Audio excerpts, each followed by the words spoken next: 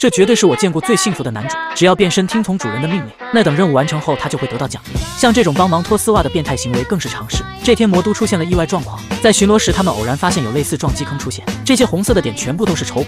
于是为了消灭对方，女主直接率队出发，赶往目的地。蓝毛妹子看女主骑在男主身上，十分羡慕。很快几人就做好准备，先由黄毛变大跳入巢穴扰乱视线，然后蓝毛使用加特林将丑鬼全部打倒。等他们合体变成巨大的怪物时，男主二人再出手一击必杀，这样会节省下非常多的时间。可就在这时，异变突生，一道紫色激光从远方射来，黄毛躲闪不及，直接被打倒。看到对方的样貌，女主瞬间回想起自己小时候，她的家人朋友全都是被这个独角丑鬼杀死的。在将蓝毛的交通工具打爆后，众人这才看清独角丑鬼的身上竟然还坐着一个人。蓝毛还以为对方是怪物。听到这话，白毛御姐瞬间就怒了，当即便口吐激光将蓝毛打了个半死。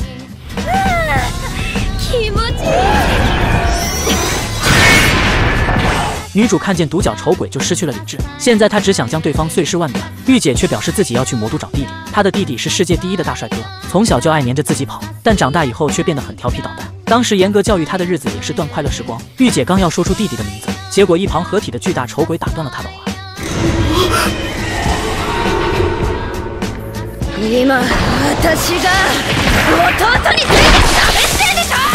说话被打断的御姐怒气直飙升，于是丑鬼下一秒就被捏成了渣渣。见状，女主没有丝毫畏惧，反倒是继续朝对方发起进攻。看御姐又要射出激光，女主赶忙和男主分开躲避。可御姐只是虚晃一枪而已，她真正的目的是把二人分开。但当她把男主绑到眼前，仔细一看，发现对方并不是丑鬼。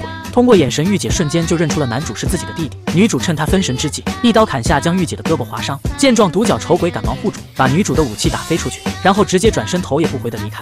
女主被仇恨蒙蔽了双眼。想要追上去把独角丑鬼干掉，可男主这时却在保护同伴不再次被伤害。看到这一幕，他这才逐渐恢复理智，解决丑鬼后发起了撤退命令。幸好两人都没有伤得很重。然而这次男主想要的。奖励非常特殊，男主竟是个不折不扣的。受虐狂。他告诉女主，那个御姐长得和自己姐姐有点像。对方看到自己的。瞬间也有一些动摇，但女主却不以为意，因为御姐说她的。弟弟是世界第一的。大帅哥。男主的。长相属实有些不尽人意。在晚上做饭的。时候，男主还在想姐姐的。事情，他不理解对方为什么要袭击魔方队。还和那些丑鬼混在一起。由于太过专注思考，锅子的菜汤冒出来，他都没发现。见状，粉毛萝莉表情突然严肃起来。男主还以为自己要被暴打，结果小萝莉却上前抱住了他的头，提议今天换自己来做菜，男主就好好休息一下。但男主却拒绝了他的好意，因为现在想那么多也没用，等下次见面时自然就能知道了。与此同时，御姐已经确定了男主的身份。为了奖励男主英雄救美，黄毛妹子准备帮他刷背。可男主以为对方只是在调戏自己，于是为了报复黄毛欺负自己，男主下一秒果断转头看了过去。没想到妹子玩得这么开，男主赶忙连滚带爬逃出了浴室。正巧外面的蓝毛妹子正在换衣服，见自己被看光了，她当即掏出电锯要把男主弄死。在这千钧一发之际，突然一个传送门出现，从里面缓缓走出两个人。男主还以为他们是入侵者，经过蓝毛的解释，他才知道这两个人是模仿队第六组的人，短发的是组长天花，双马尾是副组长八千岁。